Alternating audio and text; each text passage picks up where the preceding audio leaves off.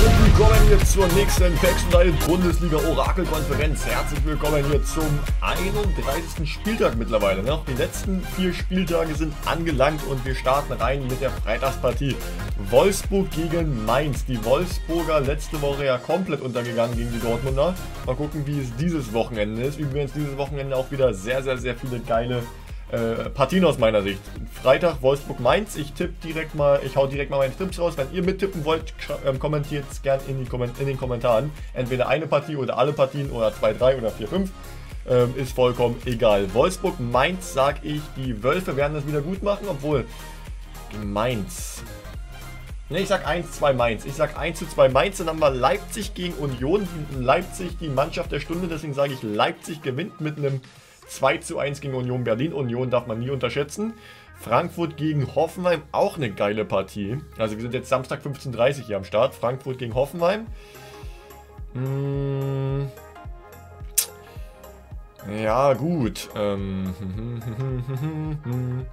Frankfurt, Hoffenheim, Frankfurt, Hoffenheim, Frankfurt, Hoffenheim. Sag ich, es wird ein 2-1 Frankfurt. Freiburg, Gladbach, sag ich, wird ein 2 1 Freiburg. Freiburg gewinnt.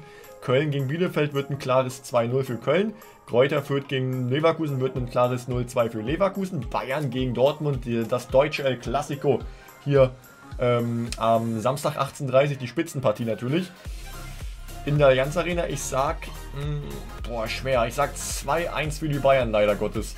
Dann Bochum gegen Augsburg. 0-1-1-1. Ich sag 1-1. Bochum rettet sich einen Punkt und Hertha gegen, Son äh, gegen, gegen Sonntag. Hertha gegen Stuttgart am Sonntag. Da beenden die Herthaner ihre, was heißt ihre Torflaute. Sie haben ja letzte Woche auch gewonnen, aber wie wollte ich, was soll ich denn sagen? Ich wollte sagen, was, dass sie die nächsten drei Punkte mitnehmen, dass sie die nächsten drei Punkte sichern und sie beenden den Spieltag. Das wollte ich, glaube ich, sagen. Sie beenden den Spieltag, sie beenden den Spieltag hier am Sonntag 17.30 Uhr. Und wir haben vier Tütchen am Start. Wir haben vier Tütchen am Start. Die Orakeltabelle wird natürlich am Ende des Videos am Start sein. Und jetzt habe ich alle meine Tipps rausgehauen und jetzt seid ihr an der Reihe. Was denkt ihr, wie wird Bayern gegen Dortmund ausgehen? Es wird natürlich an diesem Wochenende äh, auch Einzelpartien geben. Ich denke mal drei Stück vielleicht sogar. Lasst euch überraschen, lasst ein Like da und dann gehen wir rein. Dann gehen wir rein in die Konferenz und wir starten mit dem FC Köln. Und der erste FC Köln trifft direkt doppelt. Aber die Frage ist, wer macht das? Ist ja auch am Ende des Tages eigentlich vollkommen egal. Hauptsache es steht 2-0 für die Kölner. Und da steht 2-0 für die Kölner. Dann haben wir den SC Freiburg. Der SC Freiburg mit 1 zu 0 gegen Borussia Mönchengladbach. Und ich glaube, das könnte vielleicht sogar ganz gut hinhauen. Ne? Kevin Boateng, der quasi von Felix Magath als ja, neuer, neuer Teamleader quasi, nicht als Kapitän, weil Kapitän ist weiterhin Dedrick Boyata, aber so als neues äh, als Richtungsgeber, sage ich mal, Kevin Prince Boateng, weil er halt einfach jahrelang Erfahrung hat und der auch einfach mal auf dem Platz laut werden kann, Kevin Prince Boateng. Und das ist das 1 zu 0 gegen den VfB Stuttgart. Wichtig und richtig. Dann haben wir Noah Katterbach. Alter Falter, was macht ein Köln mit Bielefeld? 4 zu 0. 4 zu 0 nach dem ersten Pack. Tut er. Tut er mit dem 1 zu 0 gegen äh, Hoffenheim. Dann geht es weiter. Her BVB. Borussia Dortmund erzielt das Tor gegen die Bayern und er macht Reus. Martin Reus mit dem 0 zu 1. Und dann noch Konstantino Makopanos. Die Stuttgarter, Stuttgarter gleichen gegen Hertha BSC aus. Und das ist das 1 zu 1. Dann geht es weiter mit dem Gladbach-Titel. Gladbach mit dem 1 zu 1 Ausgleichstreffer gegen die Freiburger. Und das ist jetzt natürlich bitter, weil jetzt kommt Mark Flecken. Wenn ein Sticker bevor der Gladbacher Sticker gekommen wäre, hätte Mark Flecken pariert. Aber somit pariert Mark Flecken jetzt erst das nächste Tor von Gladbach, wenn eins geschehen sollte. Ryan äh, Comeback-Qualitäten sehen wir jetzt hier. Kappa. Angelo Stiller mit dem 1 zu 1 gegen die Dortmund erhöhen. Ich denke mal, das werden die Dortmund-Fans jetzt sehr, sehr freuen, weil 0 zu 2 gegen Stuttgart, also Bayern ist sehr, sehr geil. 2 zu 0 Emre Can und jetzt, deswegen habe ich Stuttgart gesagt, Florian Müller, das ist der Torhüter. Das heißt, es bleibt bei 1 zu 1, aber wenn der nächste Hertana-Sticker kommt, dann aus die Maus. Aber eigentlich, guck mal, wir haben 1, 2, 3, 4 torlose Partien bis jetzt. Hatten wir schon lange, glaube ich, nicht mehr, ne? Wir gehen rein in Halbzeit 2. Wir gehen rein in Halbzeit Nummer 2 und starten mit. Nein, äh, Robert Gammi und äh, Giekewitz. Das ist der Doppelschlag, weil es ein Sitzersticker ist. Und das heißt, die Augsburger führen mit 0 zu 2.